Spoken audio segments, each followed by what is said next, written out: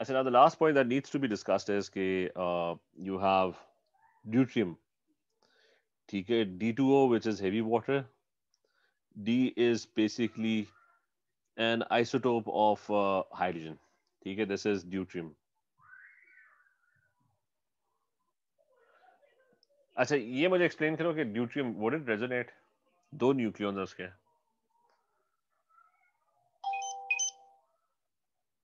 मतलब क्या एसेंशियल था ऑड नंबर ऑफ़ न्यूक्लियॉन्स होते थे ना।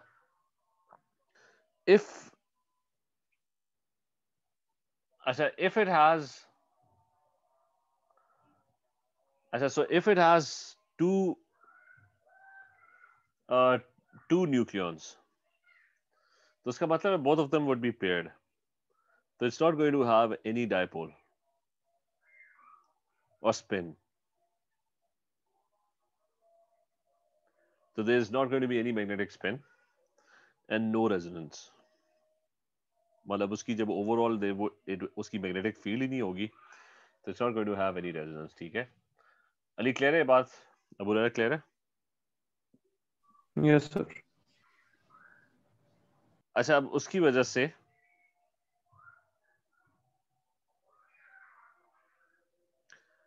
व्हाट वुड हैपन इज़ कि जस्ट वन सेकेंड अजान हो अच्छा चलिए लेट्स स्टार्ट अगेन कि व्हाट माय पॉइंट वाज कि जो आखिरी जो हम बात कर रहे हैं ना which is about which is about D2O ठीक है द थिंग इज़ कि D2O इज़ हेवी वाटर उसके अंदर ड्यूट्रियम होता है ड्यूट्रियम का isotope which is a which is an isotope of hydrogen उसके दो न्यूक्लियॉन्स होते हैं and I told you that when you have two nucleons तो दोनों पेयर्ड होंगे there would be no net magnetic spin तो यानी इसका रेजोनेंस से कोई ताल्लुक नहीं है पूरे कॉन्सेप्ट से कोई ताल्लुक नहीं it's not going to resonate क्योंकि it's not going to have a magnetic field अच्छा so hydrogen atoms in OH or NH2 groups? Whenever you have an OH or an NH2 group they have a tendency to get ionized. ठीक है carboxylic acid में alcohols में amines uh, basic होती हैं हमने organic chemistry पढ़ा था। So they have this tendency to get ionized. And what that means is if they're getting ionized that means के uh, के रिवर्स के अंदर ना if the if the water contains D plus and OH OD minus one ions होने चाहिए ये not OH just one second let me make that correction okay this must be the OD minus one ions D remember D is basically uh, uh, D is one second अच्छा just remember okay uh, D is uh, hydrogen तो heavy water के अंदर you have D plus one and O D minus one ions तो the chances are कि reverse reaction के अंदर ना बजाय इसके कि एच प्लस वन आके अटैच हो D plus ion might get attach और अगर सारा ही वाटर होगा तो डी प्लस वन की कॉन्सेंट्रेशन काफ़ी ज़्यादा होगी and there would be a lot of chances कि आपका मॉलिक्यूल जो होगा वो इसमें चेंज हो जाएगा, ठीक है? So D plus ions replace H plus one ions in alcohols का बॉक्स लिखा एन टू ठीक है? ये क्लियर है? Abu Rahra Ayesha Ali is this clear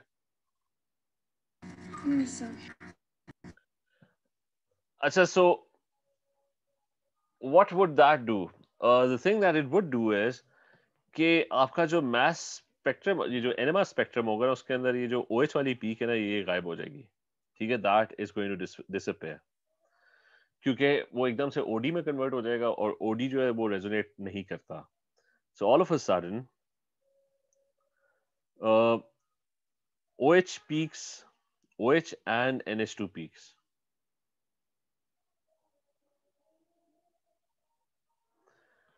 In NMR spectrum,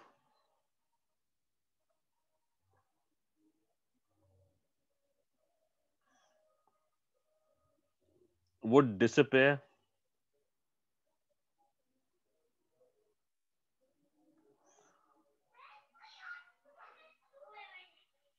as OD and ND2 are not going to resonate.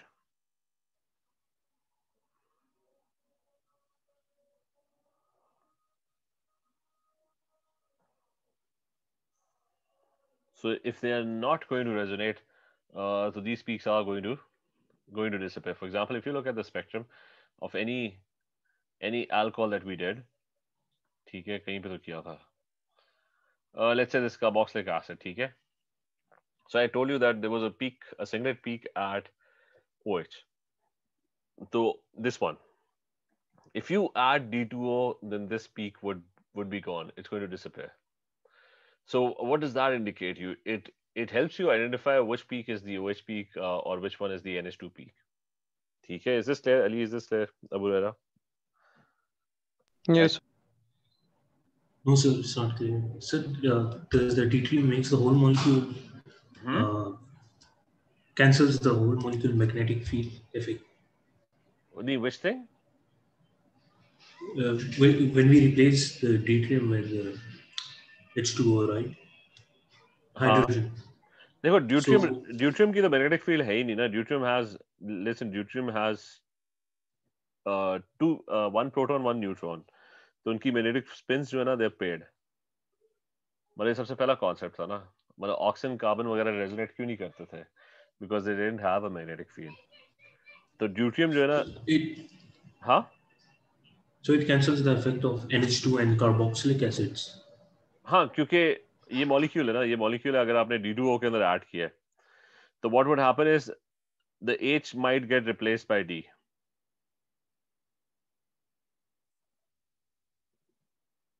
ठीक है? मतलब अगर डी टू ओ के अंदर इसको डाला हुआ है ना तो वो जो ओ एच है ना that would become O D तो there is no H O there तो ये वाली फ्रीक्वेंसी तो एब्जॉर्ब ही नहीं होगी.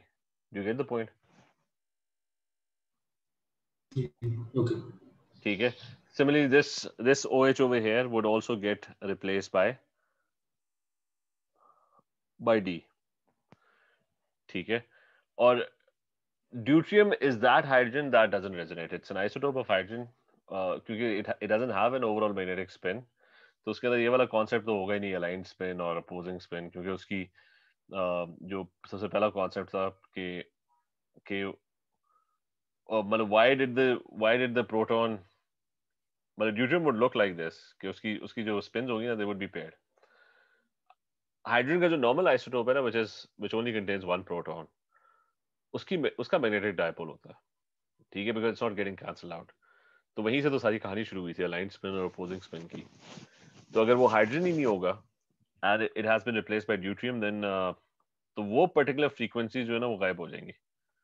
मतलब which molecule will be doing this one right तो अगर मैं इसको D2O के अंदर ऐड करूँगा ना the OH peak is, I mean, this one would go so there would be no absorption at F2 and this one would also go.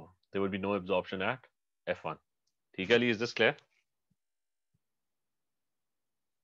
Yes sir it's clear I said now we're going to move towards uh, uh, questions. Okay, these are all the things that we uh, had to do. There was there were uh, two three concepts. One was uh, the concept of chemical environment.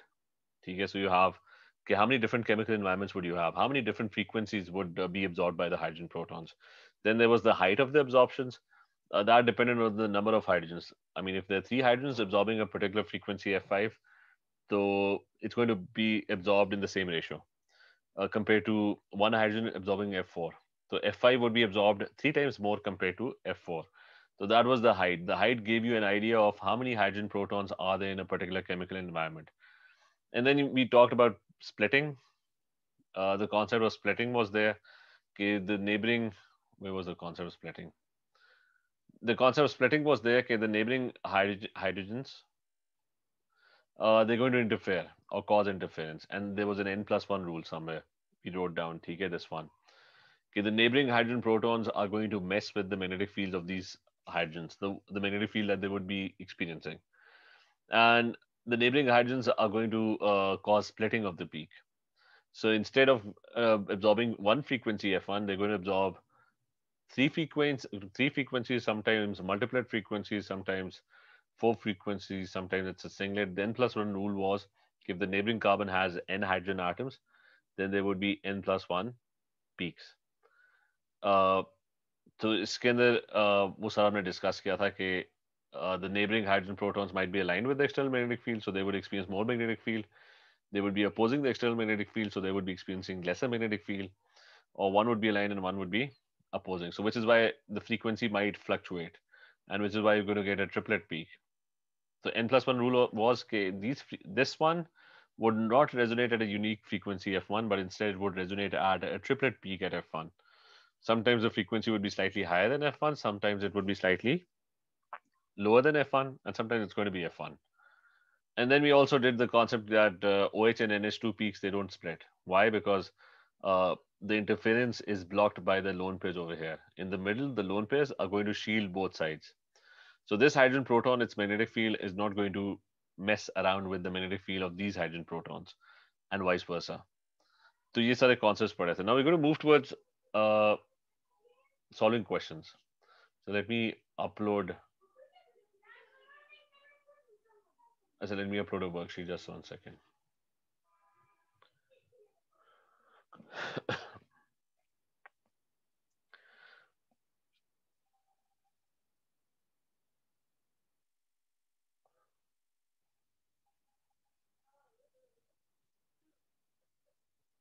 See this one.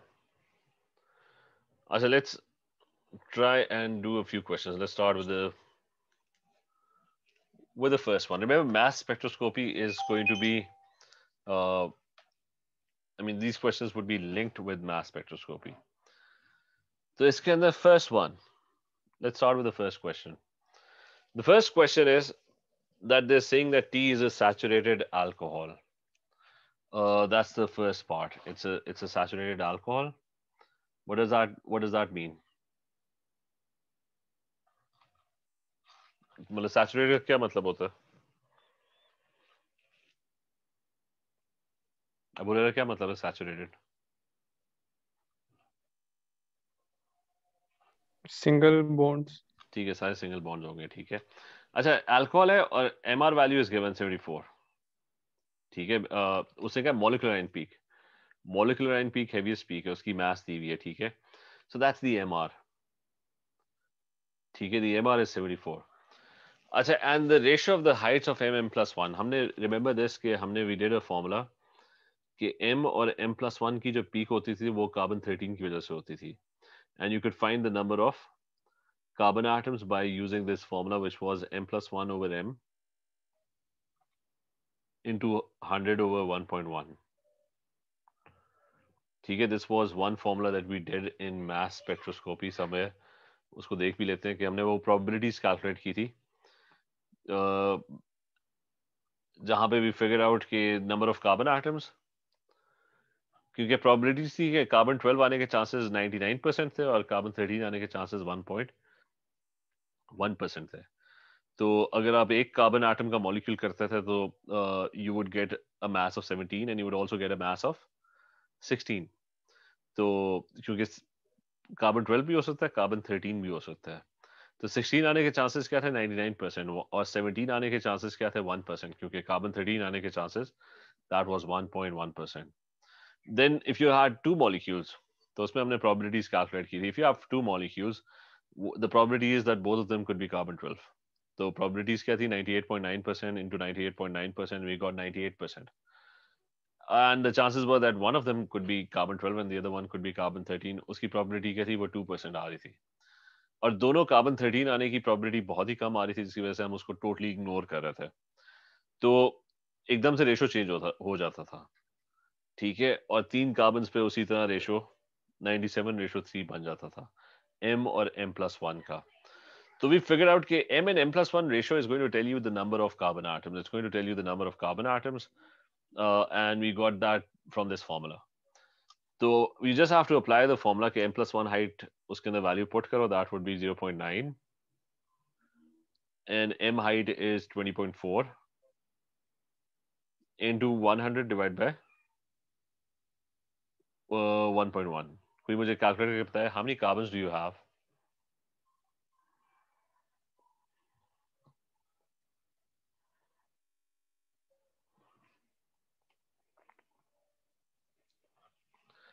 क्या आ रहा है calculator के पास Abu RERA क्या value आ रही है 4.01 4.01 तो उसको उसको राउंड कर लो इट्स फोर कार्बन्स ठीक है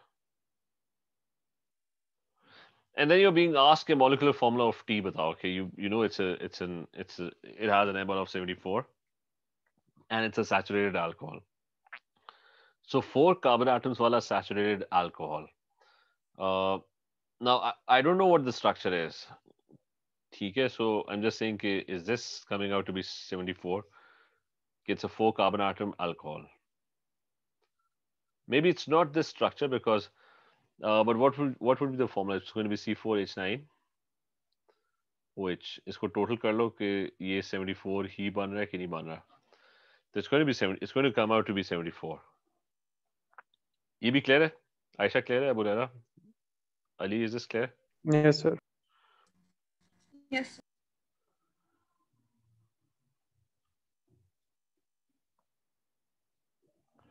Acha, so it's C4H9OH. And then the NMR spectrum is given. And we have to figure out what, is, what is the structure of T.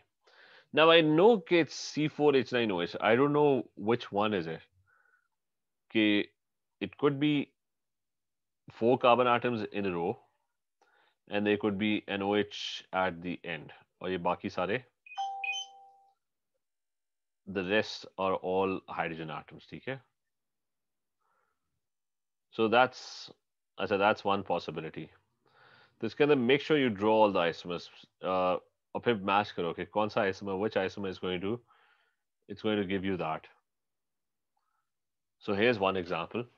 Uh, the other the other C4H9OH could be okay, you have four carbon atoms in a row and the OH is on the second carbon atom. That's one.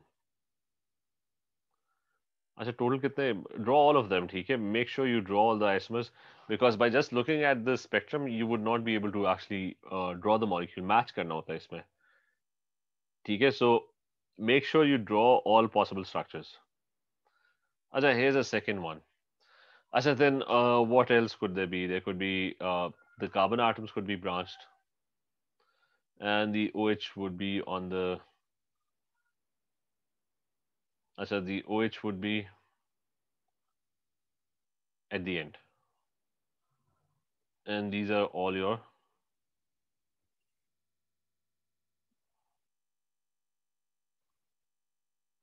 or the last one could be that it could be three carbon atoms and the OH could be on the middle one. And this would be three hydrogens So once you have drawn all the possible structures, now the question is much simpler. You have to figure out what this NMR spectrum is. I said, let's start with the first thing. Uh, how many chemical environments there are? Well, if you look over here, that's four chemical environments. So what I'm going to do is I'm going to search for the one, the molecule that's, that has four chemical environments. Let's start with the first one. How many chemical environments does this have? Well, there's this CH3. That's one frequency. These CH2s. Then uh, these CH2s.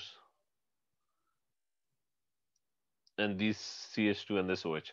As I remember, the three CH2s are all different. मतलब उनकी bonding में there's slight difference. This CH2 is bonded to a CH3. This CH2 is on one side bonded to CH2 and on the other side is also bonded to CH2. Uh, the last one is bonded to OH. So the bonding is different. So the resonant frequency, the shielding would be slightly different. On this piece, be fark hoga, but it would be slightly different. Different. As anyways, how many different environments are there? That's one, two, three, four, and five. So it's definitely not this molecule because we are looking for a molecule that has four chemical environments. Is clear? Aisha, Abu Rara, Ali, is this clear? Yes, sir. Yeah. Achha, so let's move to the next one. How many chemical environments does this have? Uh, that's one CH3. As I remember, this CH3 is different because its bonding is different. This CH3 is bonded to uh, CHOH. This CH3 is bonded to CH2. I mean, this the environment is slightly different. So the resonant frequencies would be different. Achha, this CH2 is different. Uh, this H is different and this OH is, well, all these hydrogens are different. So how many resonant frequencies do you have? That's one, two, three, four, and five again. So again, this is not the molecule. अच्छा what about this one? इस पे आ जाते हैं. Uh, इसकी कोई मुझे बताए कितनी chemical environments होंगी इस molecule की? Two. Two होंगी क्योंकि OH होगा और ये CH3 is exactly same environment. All of them are exactly in the वो सारे उसी कार्बन के साथ बॉन्डेड है यानी they all sharing the same environment ठीक है सो so, तो इसमें टोटल दो इन्वायरमेंट्स होंगी। तो इसका मतलब है, ये भी नहीं हो सकता फिर बाय डिफ़ॉल्ट कौन सा रह गया, वो ऊपर वाला रह गया। ठीक है दैट्स द आंसर अच्छा वो कंफर्म भी कर लेते हैं। Are there four environments so there is OH अच्छा ये सी एच टू ये तीसरी एनवायरनमेंट है। और ये दोनों सी एच थ्री जो है ना, ये एक ही कार्बन के साथ बॉन्डेड है तो both of them are exactly the same ठीक है? तो टोटल इन्वायरमेंट कितनी हुई? Four is this clear Ali clear है? आयशा अबू रहेगा क्लियर है? Yes, ठीक है बाकी क्लियर है? बुरेरा क्लियर है? यस सर अच्छा सो द पॉइंट इज़ के के you don't even have to solve the question really a lot of times मतलब सिंपल ना आप if you are good at drawing isomers आपने बस draw all the possible isomers जो भी जो भी उसकी डिस्क्रिप्शन uh, पे फिट करता है। Although इतना आसान क्वेश्चन यूजली नहीं होगा। And you be able to guess you'll be able to guess uh, उसके बाद उसे रीजनिंग भी पूछी हुई एक्सप्लेनेशन भी पूछी हुई है सारी ठीक है? तो खाली गेस वर्क नहीं है। मतलब यहाँ तक तो पहुँच गए but now now we know what the answer है ठीक है? वी फाउंड द आंसर लेकिन जस्ट कंफर्मेटरी चीज़ें कि I want to see whether whether is this exactly मतलब मतलब वही है कि नहीं है तो just confirmatory splitting let's look at the splitting pattern अच्छा OH peak is always a singlet तो where's the OH peak OH peak must be this one ठीक है रिमेंबर O का जो लोन पेयर है वो बीच में आ जाता है which protects it from shielding मतलब which protects it from interference from other neighboring hydrogen protons ठीक है so it's always a singlet. अच्छा इस पे आ जाते हैं। ये जो सी एच थ्रीज हैं, इनके नेबरिंग कार्बन पे कितने हाइड्रोजन हैं? वन तो ये कितने में स्प्लिट होंगे ये वाले? This would be a doublet ठीक है एन प्लस वन रूल यही था ना कि ये जो हाइड्रोजन है, उनके नेबरिंग कार्बन आटम में कितने हाइड्रोजन है? दैट्स जस्ट वन तो इट्स बी अ डबलेट अच्छा then what about this H over है ये जो एच है, इसका नेबरिंग कार्बन आइटम पे जो हाइड्रोजन है, वो बहुत ज़्यादा है। There three hydrogen on this side there three hydrogen on this side two hydrogen on this side so this would be a multiplet मतलब the neighbourhood is full of hydrogen बीच में पड़ा हुआ है वो, ठीक है? सो इट्स अच्छा, a multiplet अच्छा then focus on this on this C H two इसके नेबरहुड में ये वाला स्प्लिटिंग कॉज भी नहीं करता, ठीक है? कितने में स्प्लिट हो गए Uh, one, two. Two के अंदर ठीक है.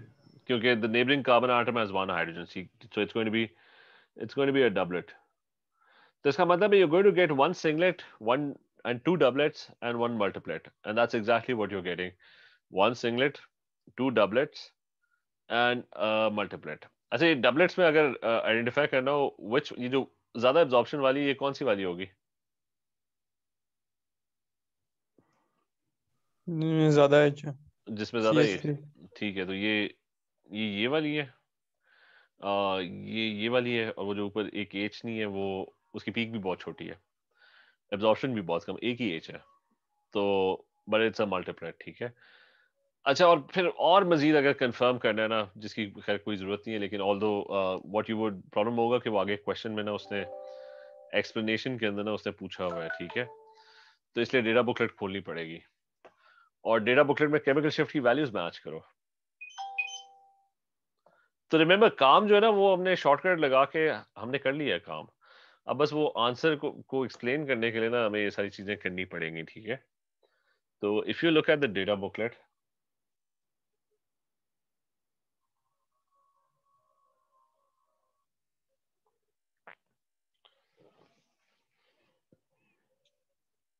पता ही डेटा बुकलेट अच्छा ये। So if you look at the data book, booklet तो uh, है? एच एन एम आर अच्छा this is the H N M R अब बैठ के ना मैच करना शुरू करते हैं। क्योंकि यहाँ पे केमिकल शिफ्ट वैल्यूज़ दी हुई हैं। तो हम और थोड़ा डिटेल में अब जाते हैं कि ओ एच को छोड़ो। This is a carbon chain C H three right मतलब कार्बन चेन है ना? कार्बन चेन के अंदर एच लगे हुए हैं। तो डेटा बुकलेट देखो alkane type carbon chain this one first one कितने पे रेजोनेट करता है? Point nine to one point seven पे। तो इफ़ यू गो बैक तो ये वही रेंज आ रही है this is zero point nine to one point seven वही आ रही है। ठीक है? अच्छा दी अदर वन ये जो एच है मल्टीप्लेट वाला this is also the same carbon chain के अंदर hydrogen, so that's also going to resonate between 0.9 to 1.7 तो इट्स प्रॉब्ली मतलब 1.7 के इर्द कहीं रेजोनेट कर रहा है। तो ये भी एग्जैक्टली exactly उसी रेंज के अंदर रेजोनेट कर रहा है। अच्छा what about CH2 next to O? So go back and find ये वाला।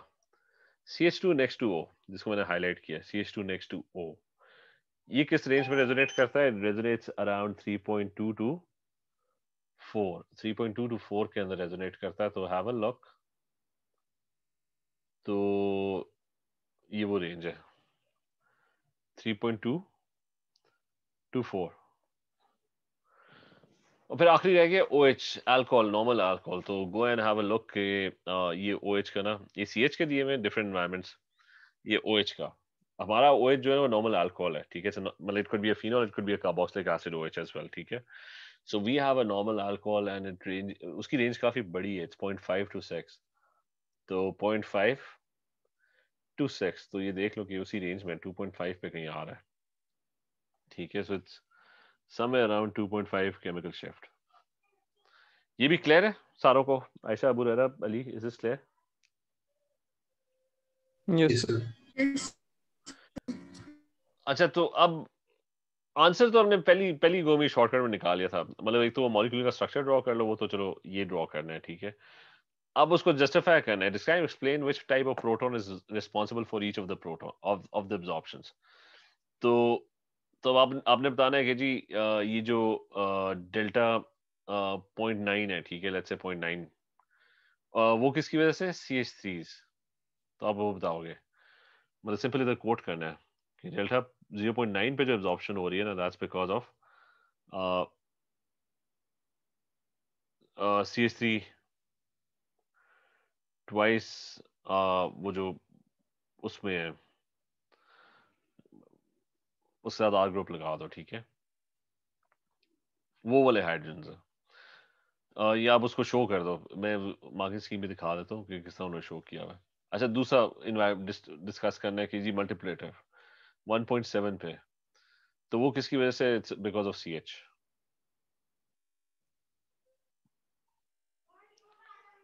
so that's because of uh, the CH अच्छा फिर OH वाली थी एक uh, वो 2.5 पे थी आई थिंक तो आप बताओगे कि that's because of the OH and then you have ये सी एच टू वाली peak that was around three point मेरे ख्याल से फोर है ये ठीक है? तो there was a chemical shift three point four उसके ऊपर एब्जॉर्प्शन थी। And that was because of the C H two group which was next to next to O तो उसकी वजह से। फिर वो कह रहे हैं कि स्प्लिटिंग पैटर्न बताओ कि why is एक्सटेन explain the splitting pattern patterns of the other absorptions 0.9 वाला 0.9 वाला कितने में स्प्लिट हो रहा है? It's splitting into a doublet तो why is it splitting into a doublet? क्योंकि, और दोनों का पूछा हुआ सर। पॉइंट नाइन और थ्री पॉइंट फोर दोनों का, कि, क्योंकि नेबरिंग कार्बन पे एक हाइड्रोजन है। मतलब सी एच टू के भी नेबरिंग कार्बन एटम पे एक हाइड्रोजन है and C H three C H three के नेबरिंग कार्बन पे भी एक ही हाइड्रोजन है। Uh, तो इसका आप सिंपल आंसर लिखोगे because the neighbouring carbon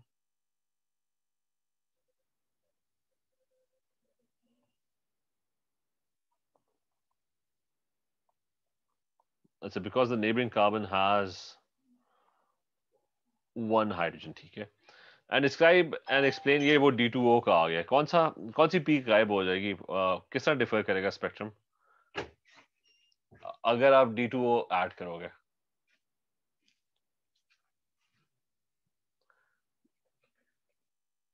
क्या होगा? अभी पढ़ा हमने। OH वाला निकल जाए। ओ OH वाला निकल जाएगा तो आप बताओगे कि जो ये ओ OH वाली पीक नहीं है 2.5 वाली ये गायब हो जाएगी ठीक है? तो दैट वुड डिसअपेयर इसके बस वो आंसर्स भी देख लेते हैं कि उन्होंने किस तरीके से ना आंसर्स दिए मैं, एक सेकेंड इसकी मेरे पास मार्केट स्कीम है।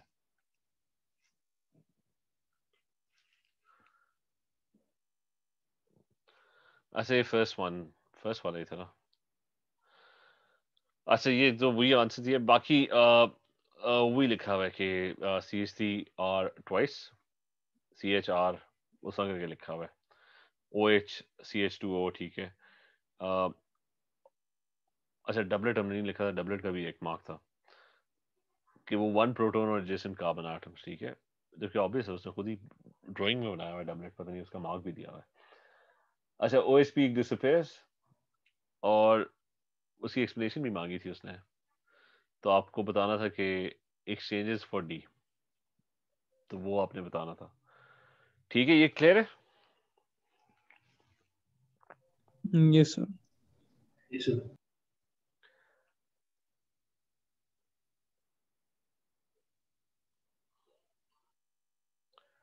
अच्छा लेकिन क्वेश्चन यूजली इतने आसान भी नहीं होते। uh, अच्छा रिमेंबर एक्सरेज नहीं है हमारे कोर्स में। पहले होते थे तो अभी वो जैसा एक्सरे क्रिस्टलोग्राफी का क्वेश्चन आ जाएगा ना। जस्ट इग्नोर दैट पार्ट अच्छा मुझे तो, एक एक ये पता होना चाहिए कि why is NMR spectrum safe जैसा एक्सरेज जो है ना वो सेफ़ नहीं होती। एक्सरेज बड़ी हार्मफुल होती है। एनिमा स्पेक्ट्रम कौन सी वेव्स यूज़ करता है? मतलब आपका स्पेक्ट्रम में कौन सी. नहीं रेडियो वेव्स यूज़ करता था। मतलब वो रेजोनेंस जो थी वाज कॉज बाय किधर गया?